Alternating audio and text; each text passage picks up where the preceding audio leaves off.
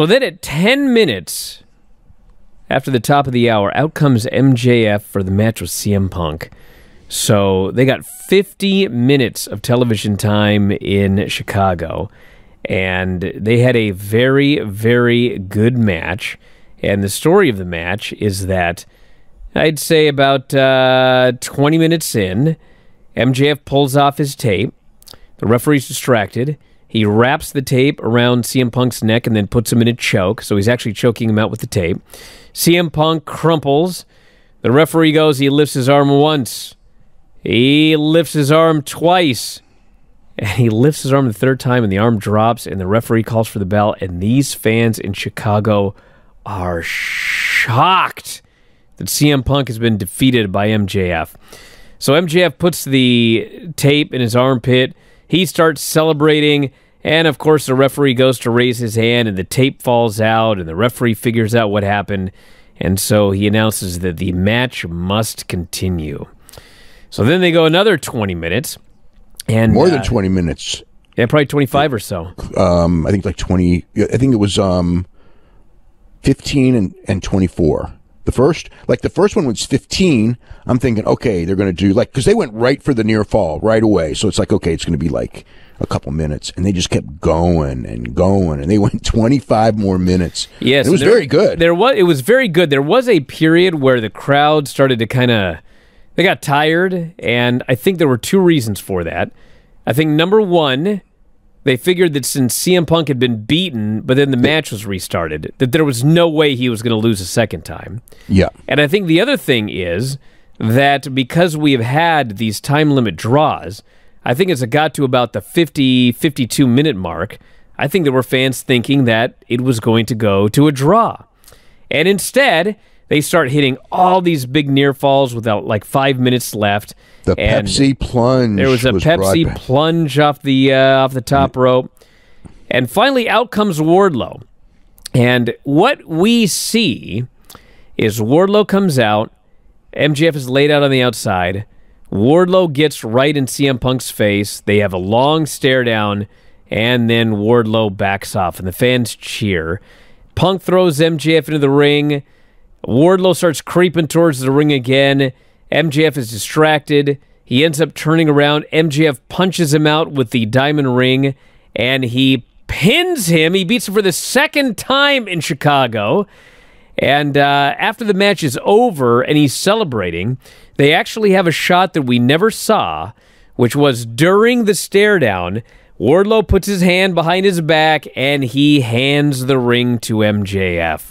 And then also after, to avoid what happened before, where the ref catching the tape, um, MJF hands the ring back yes, to Wardlow. They did the a much better check it. job. He did a much better job the second time hiding the evidence than he did the first time. Yes. So yeah, MJF beat CM Punk twice in Chicago. And listen, all I know is I've been watching this show the last few weeks now. And Adam Cole, I know he's still technically undefeated, but this dude just lost to Orange Cassidy last week. MJF just beat CM Punk twice in Chicago. And as a fan, when this show is over, like, it should be MJF and Hangman at the pay per view and CM Punk and Wardlow. And I don't know what they're going to do, but I mean, that's what I thought when this show went off the air. They could go back to see the one thing when when um, MJF beat Cody Rhodes a couple years ago in very similar type of match. I didn't like and still don't like the fact that they just moved Cody Rhodes into another direction and he never wrestled him again and he never feuded with him because um, you know when you're shooting like this big hot angle and the heel cheats, you you should go back and do a feud and and they didn't. And in this case, I think the same thing. I think they should do a feud. I think they should do something with CM Punk and um, MJF in a rematch before, you know, I mean, he could go for the title. I mean, he definitely could. But see, the thing is, I'm not thinking the thing, this thing should be over. But given that he beat CM Punk twice in Chicago, Yeah, you could make the and he hasn't lost in forever. I mean, how is this guy not uh, ranked above Adam Cole in terms of going for the championship? I mean, he feels way hotter than Adam Cole right now because he just beat CM Punk twice in Chicago, and CM Punk can can bide his time, you know, wrestling Wardlow at the pay per view, And you could still go back to MJF and CM Punk at some point afterwards. This doesn't need to be the end. You could do that. I mean, there's nothing wrong with doing that. I mean, but there's nothing wrong with CM Punk against MJF in some sort of a stipulation match either. Sure, uh, you could do that. You can you can do that in Adam Cole and, and Hangman. Um, you know, um, and they also could take that away, but I don't think so just because of the way the interviews were going and everything like that, and especially on Friday. Um, you know, they pretty much go with the idea that uh, you know that, that Adam Cole's getting the winner.